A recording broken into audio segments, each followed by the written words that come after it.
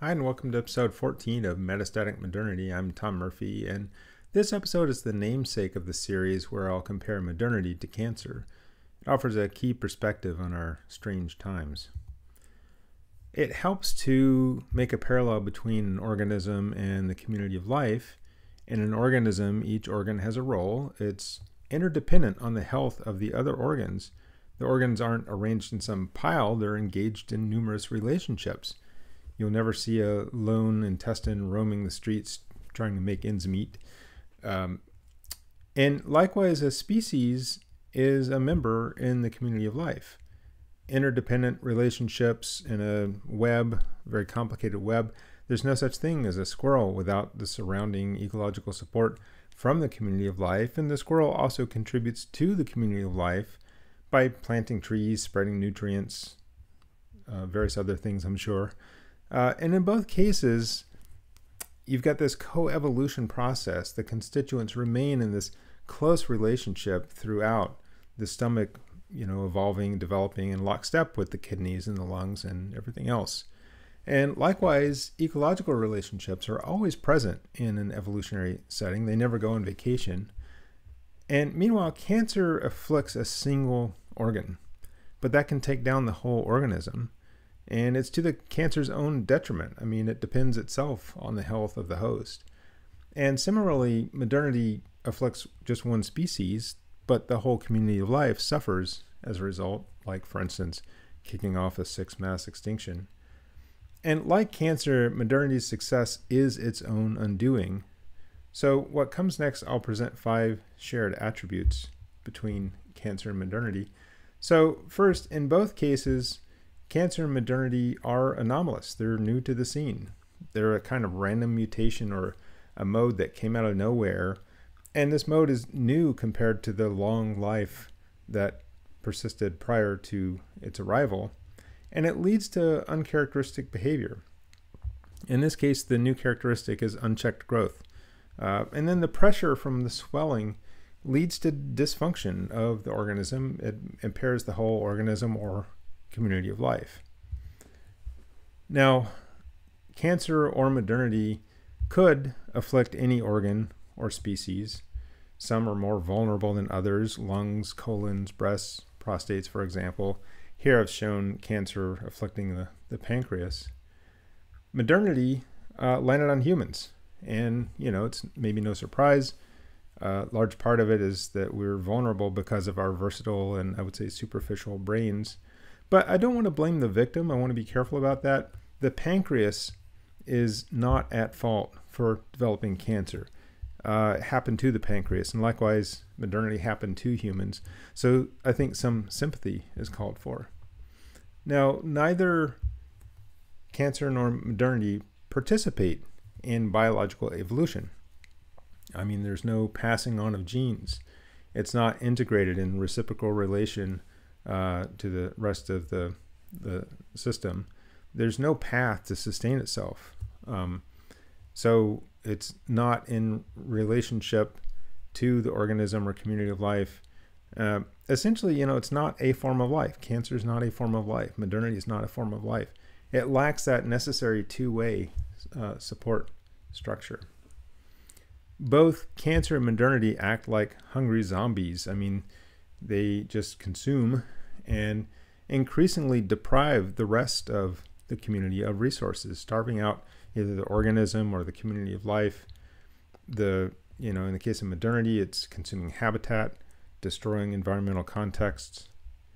And then, you know, it metastasizes or spreads. So it might start small, but eventually all corners of the organism or the globe are covered, and hardly any organ or species is not impacted in the end. And increasingly, the impacts and the impairments are, are very direct to the functions of those species or organs. What's good for cancer tends to be bad for the host. Uh, a doctor or any doctor you'd want wouldn't prioritize the cancer's prosperity because you know cancer has no role in a healthy body it has no place so you know, the question should a doctor prioritize modernity? Um, I'm a doctor in a weird kind of way. Um, it, I think it'd be inconsistent with the kind of do no harm motto because, you know, neither cancer nor modernity are a viable form of life. Modernity brings overwhelmingly negative impacts to the community of life, whose health, it turns out, is vital to human well being. You can't even have modernity without a healthy ecosystem, it turns out, in you know the long run. So there's no room in a healthy ecology for a modernity tumor. Okay, I showed this figure in episode 7 of mammal mass distributions. Humans and our domesticated extensions have crowded out wild uh, the wild mammals and pushed them over into the corners and it's kind of like a tumor pushing on the adjacent organs and um, you know impacting their ability to to survive and you know so wildlife is really struggling in the um, in the face of modernity to survive. Uh, it's important to notice that, or to, to note that a tumor swollen organ is not its true self. It's not in its natural state. Likewise, the modernity enlarged human population is not the true nature of human population. It's taken us far out of our ecological ecological context. And I want to stress that you know humans are not the cancer. So don't get me wrong there. Uh, don't take it personally. It, it, you know clouds eclipses the message. Um, it's just that we're under the influence of this kind of faulty program that's afflicted humans, and then the human organ, if you will, has swollen to these dangerous sizes. Uh, I'll point out also that some humans resisted that disease, but you know didn't fare too well in that resistance and now it's metastatic. It's it's spread. It's gone everywhere. But let's not blame the victim again. Uh, it's not the pancreas's fault that it develops cancer. The pancreas is a good organ. It has a place, a role in the body, just like humans have a place and a role in an ecology. So both cancer and modernity are incredibly hard to stop once metastasized, especially. Uh, modern, at this point, you know, modernity is firmly rooted in global cultures fully entrenched, basically in control. Um, now, I've compared modernity to a technological boat on a raging river that's heading for a waterfall. Um, you know, the boat basically has no choice but to go over. It's what unsustainable fabrications really have to do. Uh, now, humans are in the boat, and a lot of them are enjoying the thrill of the ride, but humans don't have to go down with the boat. So abandoning the boat is an option, even though it might seem very scary. Okay, no metaphor or analogy is perfect, and there are a few things I don't like about this one, and so I'll just put those out there. First, growth has been identified as the essential problem. And yeah, it's true that runaway tumor growth is unsurvivable, and likewise, uh, growth on a finite planet just simply can't continue. But I don't want to give the misimpression that halting at today's scale would work. It really wouldn't. We're utterly reliant on non renewable resources and materials. Um, we fail to use materials that are processed by and useful to the community of life, so it's a big disconnect there. We failed to establish, or modernity has failed to establish, a rich set of ecological reciprocal relationships in the web of life.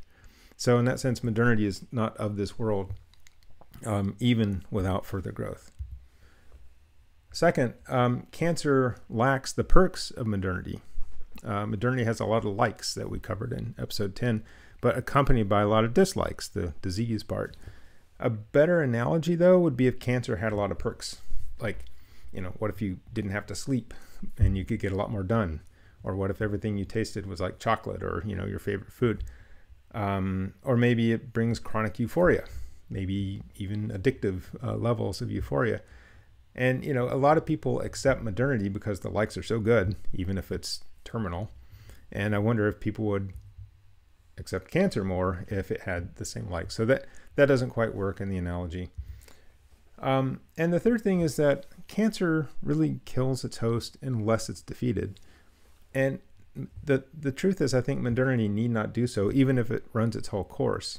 So in this sense, modernity isn't as deadly as cancer, and I want to be clear that modernity, in the case of modernity, it has no choice but to end. It's not a sustainable uh, mode of living on this planet. But I think it's very likely humans will survive its end, however that comes about.